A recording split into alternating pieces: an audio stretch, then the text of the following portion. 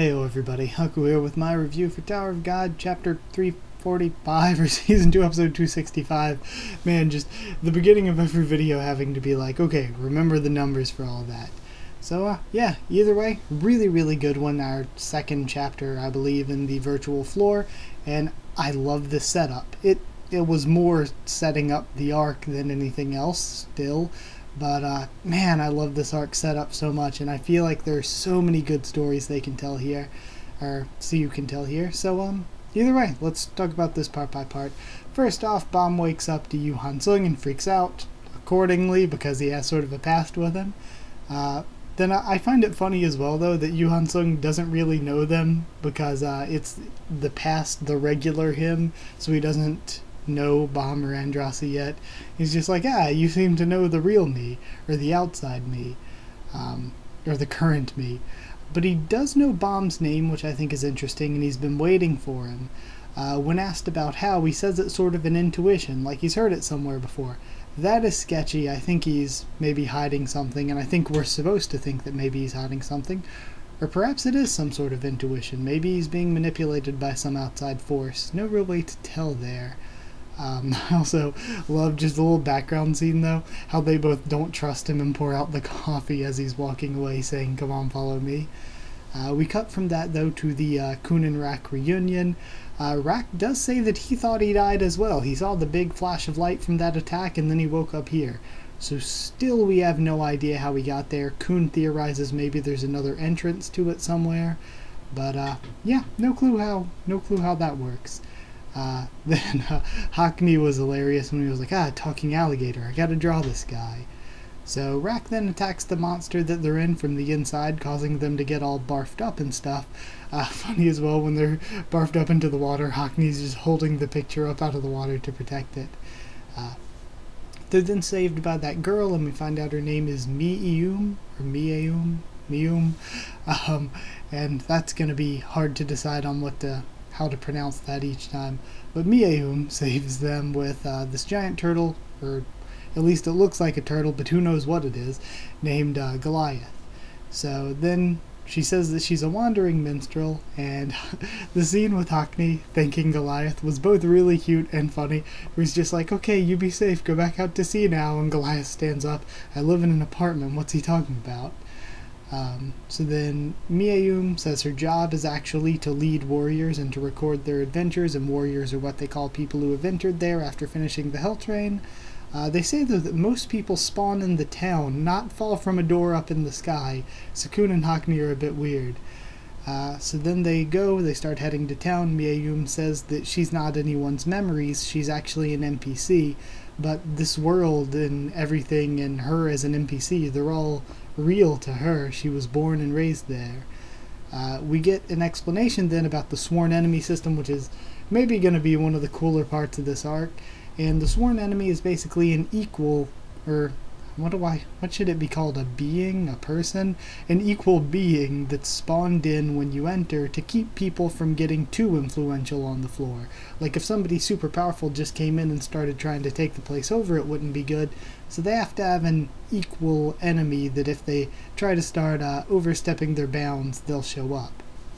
And apparently the monster was Rak's sworn enemy, because uh, even though it's typically somebody that's like something from your past, you can create a uh, completely new sworn enemy if you have that sort of personality. It's something that you fear or like a rival. It's the fold for what you are. So, uh, yeah, he sort of created that from his own imagination, sort of, uh, subconsciously. But uh, then we go back to Bam and stuff, and I like that uh, as they're walking along, he's observing Yu Hansung and uh, coming to think that he's crazy strong even just as a regular. Uh, Yu Hansung says that he'll lead him to Young Zahard because he figures that's where they're going, but the quarantine area, which is where they're at, is the furthest place away from him, so they have a bit of a ways to go. And he says that there are some, some there are some safe places on the uh, floor, but as long as they're in the quarantine area, soldiers are going to keep coming after them. Then at the very end, we see that Bam's sworn enemy gets spawned in, and his sworn enemy is himself. Viole's sworn enemy is Viole.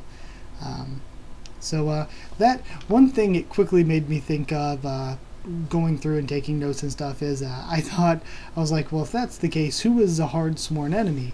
Uh, does Zahard not have one, or if he does have one, is that maybe the evil that they were talking about that was left on the train? Um, who knows? Or like this is a crazy out there theory, and I would highly, highly, highly doubt it's true. But what if Zahard went as a good guy to um, save himself in the mirror, but then the uh, there was a bad version of him that spawned sort of like the bad version of Bam, presumably bad version of Bam here, and the bad version of him somehow escaped as the real person. So that's why Zahard is evil now when he was good before. That's highly, highly incorrect, though. It's probably going to be completely wrong. It's just a thing that if SIU did that, I'd be like, ah, that's kind of a cool way to write why Zahard is evil. The real one was just trapped on this, uh, in this mirror the whole time. But uh, either way, uh, some of my guesses, I wrote down a couple guesses for sworn enemies because I thought that a few could be interesting if they were added into the arc. Rachel has said that she's scared of the night, which was a reference to Bam, and her rival would obviously be, be Bam. So is there going to be a third Bam spawned into this place, and we're just going to have three Bams here? For Sachi or Boro, I'm thinking maybe Hoaqin or Daniel. Like Hoaqin is an enemy, Daniel is a rival. I don't know, something like that for one of them. No clue. Uh, for Hoaqin, it's probably going to be his father, but then again, Bam has been really like a uh, rival them as well. So it'd be hilarious again if we had a fourth Bam show up here. For Androssi, the only person I would think of that would make sense to me would be Anak, since they are rivals. They're like friendly rivals, but her and Anak are rivals, so I feel like a Data Anak would be cool as her sworn enemy. Uh, for Khun, only person I can think of, probably his father. Probably. Uh, could be a sibling actually, but I'd say probably his father. Uh, for Hockney, Data Hell Joe would be cool. And uh, for Irude, I wanted to throw Irude in here because what if we uh, get a Data Lore on the um, train and he's like, or and they find out from Irude, oh yeah, since we're related somehow, they both have the same surname, so they're related somehow uh, since we're related, we grew up and we're rivals or something. And it'd just be a cool way to throw in a character that we already know. Um, so yeah, that's it. Some stuff that SIU said in the blog though, because there's actually, uh, compared to last week or the week before, one of the past two weeks where there was pretty much nothing in the blog to this to discuss. There's a bit here. Uh, this week he said that uh, for the beginning of this arc, at least for a little while, we're going to follow Bam and Khun just to introduce the floor and get the plot moving. And then he said that they're going to uh, tell many stories throughout many stages from there. Since it is sort of like trapped in a video game world, there's going to be sort of stages to it.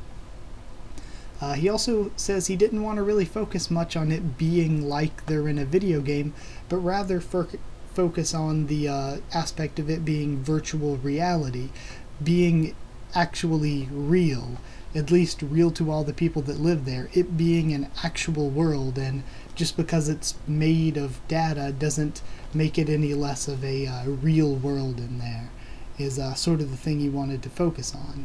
So he said that because of that, it may be more cyberpunk in nature than the video game, and I don't know if that's how you use the term cyberpunk, but uh, that's what the um, blog translation said, so I'm going with it.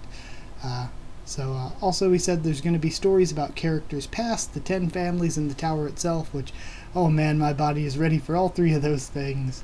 Uh, and lastly, he said the sworn enemy system is something that can be used to tell many stories, obviously, because you could put uh, somebody like Khun with his father, and we would get to learn about Edwan. At least I think, yeah, Khun Edwan's his father. Um, so we could learn about that, or like Irude and um, there's so much that they can uh, that SIU can do by telling stories through the sworn enemy system. Uh, so yeah, thoughts as a whole after this. I thought the art was better than usual. I don't know if it's just me, but and I know SIU's art is always improving, but I did think the art looked better than usual here. Um, at least it seemed that way to me. I also love Yu Han Sung here. I'm glad that SIU chose Yu Han Sung as sort of the guide character to use. Um, I really, really like the character. And I like how uh, the data one is being portrayed so far. Uh, NPCs also could be interesting. NPCs like Mium in telling their Mium in telling their story, uh, and how the world is reality to them, and getting into that could be really really good. Uh, also, the Sworn Enemy setup, again, it's a really good system. I think it's going to be great for telling stories. And uh, last thing I thought reading this is that Hockney already is such a great part of the main cast. I love seeing Hockney as part of the main cast. Uh, so yeah, that's it. Really great score because though it was mostly setup and information, I just I thought it was great. I thought it was really, really, really good.